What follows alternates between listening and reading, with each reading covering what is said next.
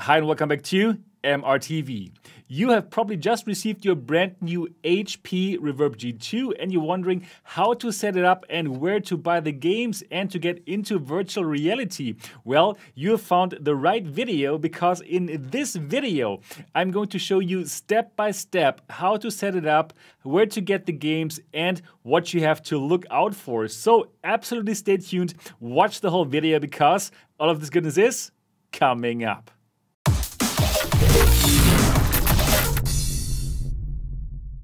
Welcome back again here to MRTV. My name is Sebastian Ang, and this channel here is all about virtual reality. I'm bringing you independent XR reviews. You're getting the latest news and tutorials just like this one here. So, if you're new to the channel, subscribe and click on the bell button so that you don't miss anything. All right, you got your HP Reverb G2, and I'm going to assume this is your first VR headset, so I'm going to teach you everything from the very beginning, and let's directly get into it.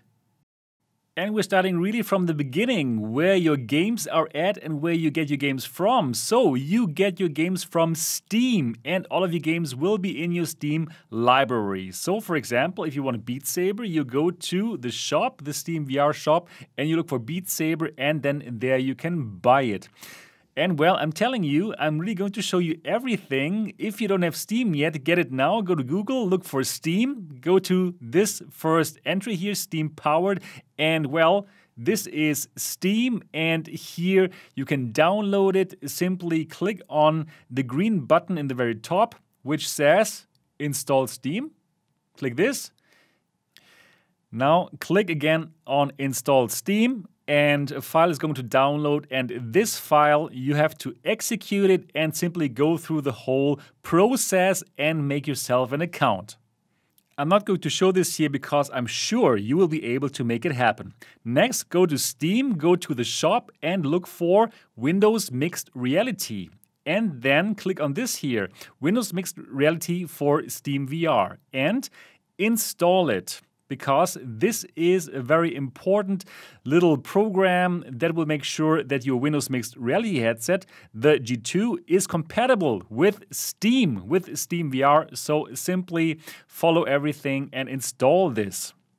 I believe this is very frustrating if you don't know about this step, because if you don't do this, nothing is going to work on your G2. And I must tell you, honestly speaking, I think it's a bit strange that this doesn't automatically install itself. Next, on the shop page, look for Steam VR. This is a very important program that also you need to install. Without Steam VR, you will not be able to use your VR headset. This is basically the main app that will make everything happen. So, if you don't have it yet, please install it on your system. So actually that's pretty big and it might take a while for you to download it. After you've downloaded it, simply start it and then everything will be fine. And it's time now to plug in your HP Reverb G2. So this is the cable and well, you got a power adapter and this one here, this plug, you have to plug into the breakout box. That's important. And then of course, put in the power cable or the power plug into a socket.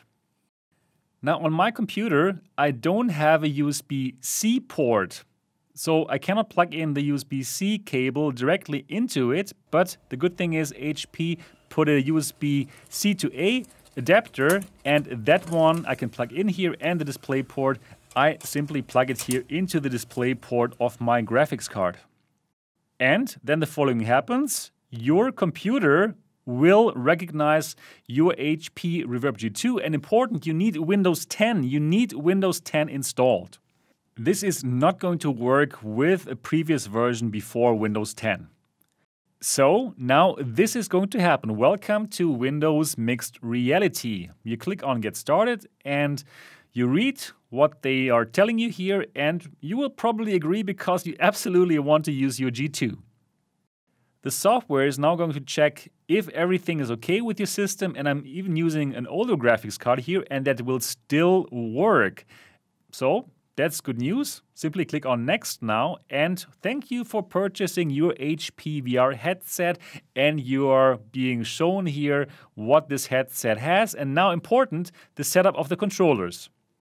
Now what you have to do is simply long press on the Windows button on both of the controllers, just like this one, and then the controllers are going to connect with the headset and you will see this here happening on your screen. Everything is paired up now and you can click on the next button. And I'm doing so now. All right, get to know your controllers. Yeah, you can check out what kind of different buttons it has and then you're nearly done. Now choose a setup. Do you want room scale or only sitting? So most of you are going to use room scale, so choose it. And then what you do, you click next again here. And well, now center your headset, hold it in front of your computer. This is exactly what I'm doing here at this moment actually. And then click on center. And this is the direction that is going to be your forward direction in Beat Saber, for example, or in any other VR game. Next, you have to click on Trace.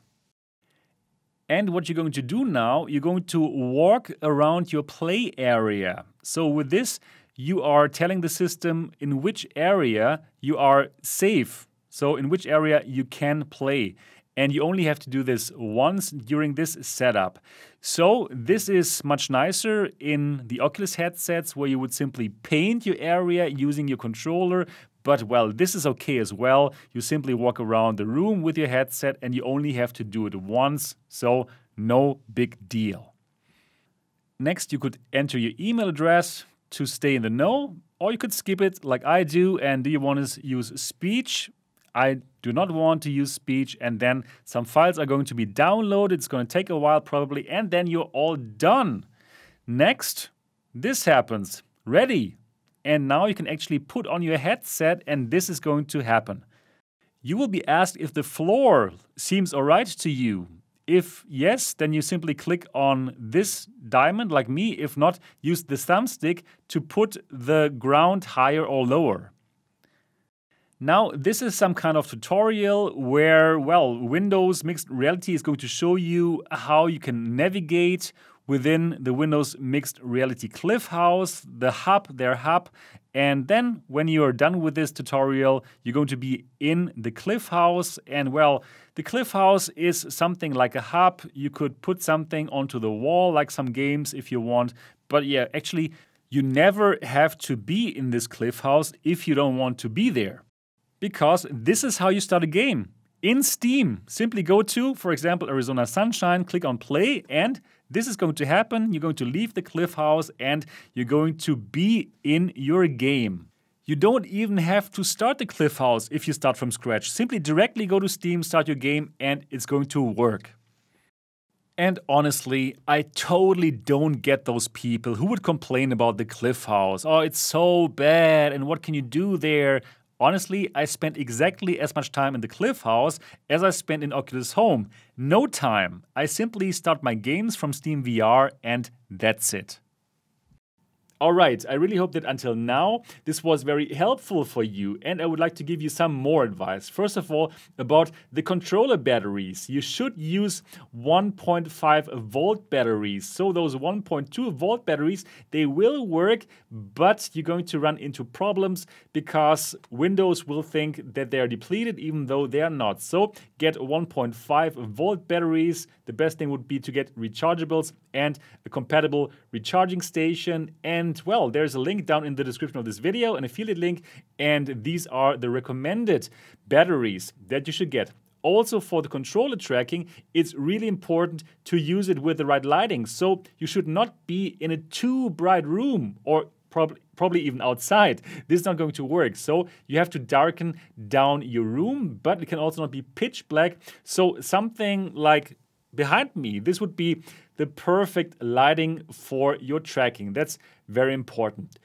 Overall, I really hope that this was a helpful video. If yes, give it a thumbs up. And for the algorithm, comment also. Help that more people can find this video by engaging with it. Other than that, check down links in the description of this video for more interesting accessories for the Reverb G2. And of course, if you have not yet subscribed to MRTV yet, then absolutely do that now and click on the bell button so that you don't miss any of my upcoming videos. That's it. and I'm looking forward to see you in the next episode.